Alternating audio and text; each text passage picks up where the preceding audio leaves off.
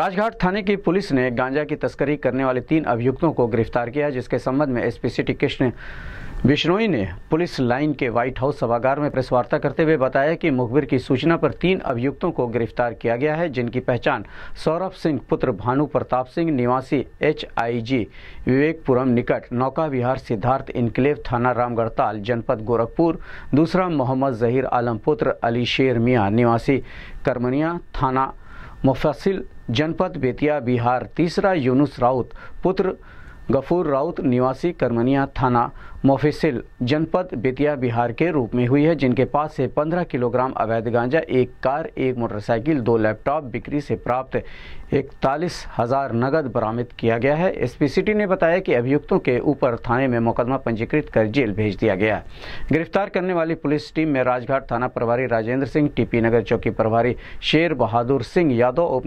राजवंश सिंह, राजेंद्र कुमार सिंह, कांस्टेबल नबी रसूल शाह अमित यादव, अंकित बिंद, पवन यादव, दीपक यादव शामिल रहे। इस संबंध में गोरखपुर से बात करते हुए एसपी सिटी कृष्ण कुमार बिश्नोई ने कहा।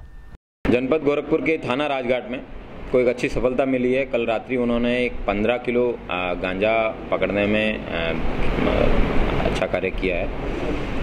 कल रात्रि के समय उनको सूचना मिली कि एक मोटरसाइकिल पर दो लोग जा रहे हैं और उन लोगों के पास गांजा होने की संभावना है। इसी पर उनकी रोक कर उनकी जमा तलाशी ली गई।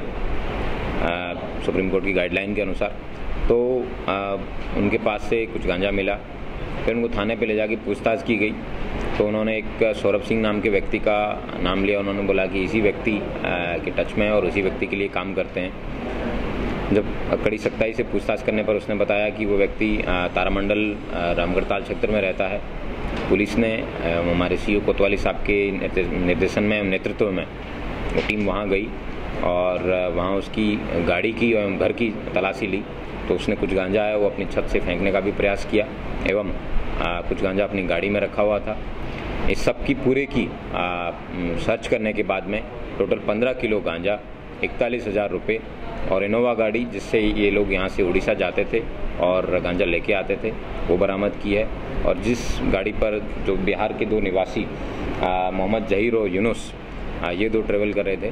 इन सब गाड़ियों को बरामद किया गया है और ये बहुत ही अच्छा गुड वर्क है थाना राजघाट का और भविष्य में इसी तरीके की कार्रवाई कर मादक पदार्थों से गोरखपुर के युवाओं को दूर रखा जाए। इसी मुहिम में एक अच्छी सफलता है। सर इनका सरगना कौन था? गोरखपुर संख्या में जो आ रहे हैं सौरभ सिंह नाम के तारामंडल का रहने वाला व्यक्ति है। जो इस पूरे ग्रुप का सरगना है। और ये व्यक्ति पूर्व में भी दो से तीन बार उड़ीसा जाके सामान को उड़ीसा में कोरापुट से लेके आया है और वहाँ से बिहार लाते हैं और बिहार से गोरखपुर लाते हैं। ये इस बार अपनी मुहिम में सफल नहीं हुए। और हम उम्मीद करते हैं कि गोरखपुर पुलिस इसी इसी तत्परता से भविष्य में भी इनके सारे मनसूबे करेंगे इसका जो बैक एंड जो आगे की जो सप्लाई चेन है, वो और पीछे की जहाँ से जहाँ से इनको गांजा मिलता है, इन दोनों पर पुलिस वर्कआउट कर रही है। Thank you